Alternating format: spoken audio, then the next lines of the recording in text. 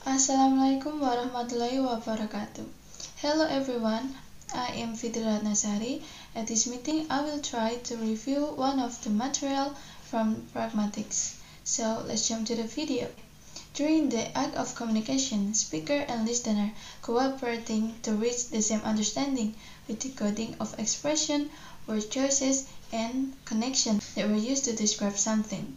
The cooperating understanding will only occur when both of them have successfully received a mutual interpretation of what being expressed. According to that, now I will try to give explanation that deals with reference and inference. From Oxford Dictionary, reference is defined as a thing that speaker says or writes that mentions something or somebody else. For easier understanding, referring is simply labeling or tagging for identifying something.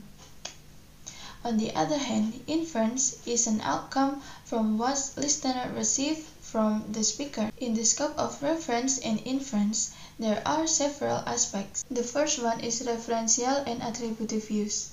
The concept of referring to something doesn't always match the physical image or entity. Sometimes it can be something that we label it as unknown. For the example, there is a beautiful girl waiting for you in the building. I would be happy to find an icy white cotton falling from the sky in Indonesia. Abdul wants to join the Surabaya Screen Force. I don't get any signs of the thief. No matter how hard it is, the lover will come through. Kata a, an, dan the ini disebut attributive use karena bisa dipasangkan dengan siapa saja apa saja ataupun yang tidak diketahui entitasnya. Tidak hanya sebatas itu, attributive use bisa menjadi frasa seperti the thief and the lover. Sedangkan referential use itu merujuk pada entitas lain yang pembicara itu sendiri sudah memahami artinya. Biasanya ekspresi ini digunakan untuk lebih menarik pendengar.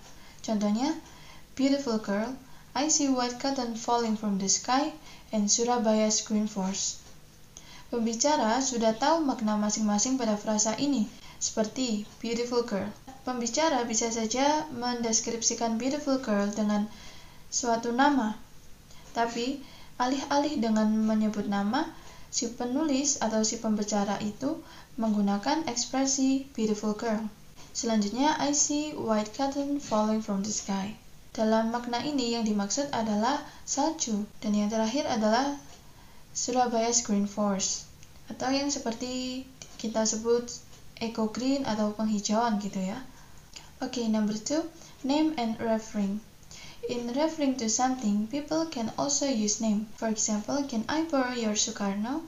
Or Titanic takes over the whole upper shelf. When I say can I borrow your Sukarno, it doesn't mean borrowing the Sukarno in real person, because he already passed away. But when the name Sukarno is associated with borrow, listener can infer something else that is not a human named Sukarno, but his biography book. The same goes to Titanic takes over the whole upper shelf. It's not Titanic ship, but a Titanic book. How is that so? Because Titanic associated with upper shelf, so we can infer that is about a book. This association between Sukarno and borrow is called pragmatic connection.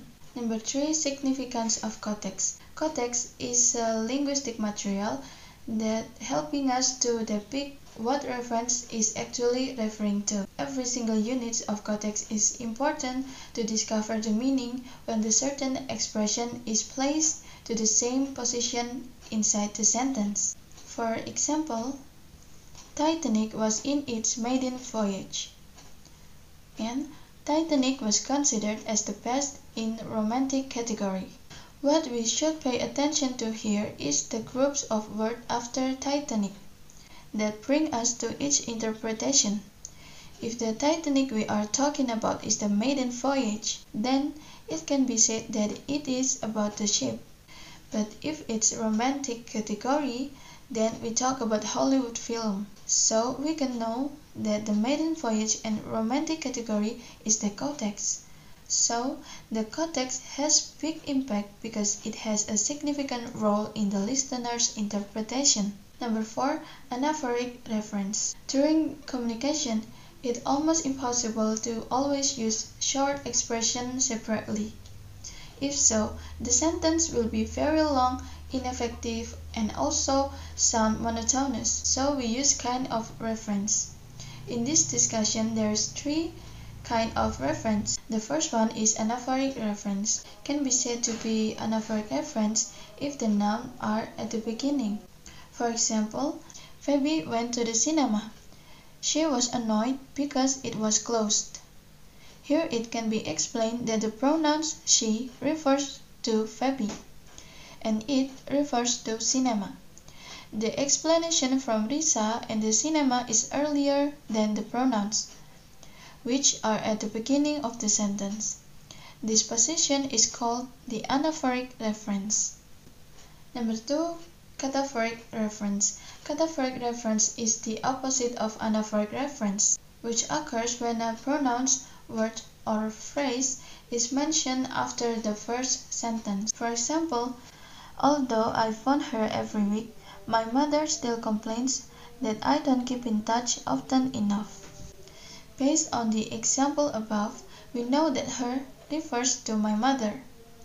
The explanation from my mother is after the first sentence, so a position like this is called a cataphoric reference. In summary, if the explanation is at the beginning, then it is anaphoric, but if the explanation is at the end, then it is cataphoric. So the third is zero anaphora or ellipsis. For example, now sleep for 15 minutes or struggle for years before you intend to stop. The words given are clear and firm. There is no ambiguity in the sentence. So that's all from me.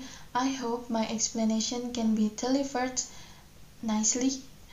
If there's any mistake in my explanation, please correct me if I'm wrong.